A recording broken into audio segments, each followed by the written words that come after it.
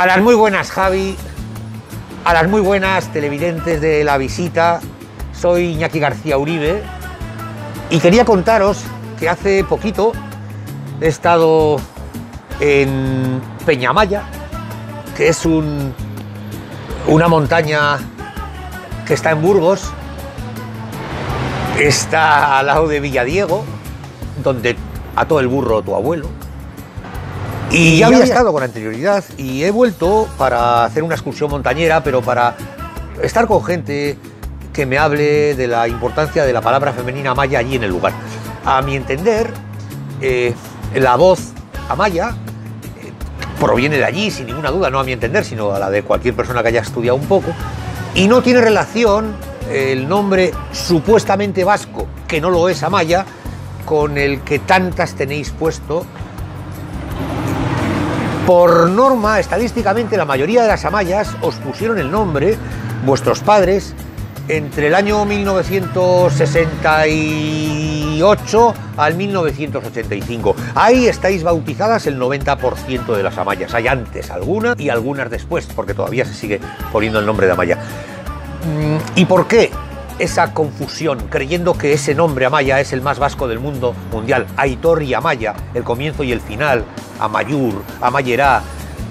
Para mí es leyenda, no tiene una base eh, en la mm, toponimia en relación a un nombre de lugar. Sin embargo, el nombre de Amaya en Burgos, en Peñamaya, arriba de Amaya Villa, está ya documentado por los historiadores más reputados romanos, Tito Plinio, eh, eh, Polomeo.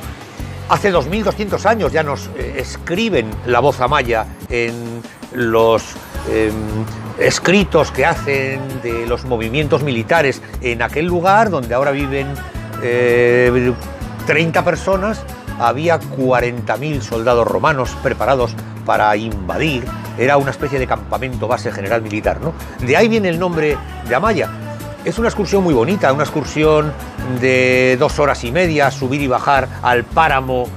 Es una planicie como un tepuy venezolano de dos kilómetros de ancho, de largo, eh, espectacular, muy bonita. Os recomiendo a las amayas que nos podéis estar escuchando, que nos podáis estar viendo en la visita, el que hagáis una excursión por Villarcayo a Villadiego de Villadiego a Peñamaya, dejando el coche en Amaya Villa en un aparcamiento especial que hay para subir a la cumbre.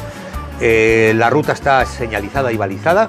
Allí hubo un castillo, la Peña del Castillo, que también está documentada desde el final de los tiempos y es muy recomendable.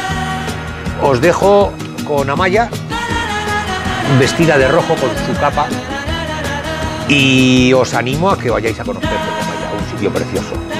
Hasta pronto.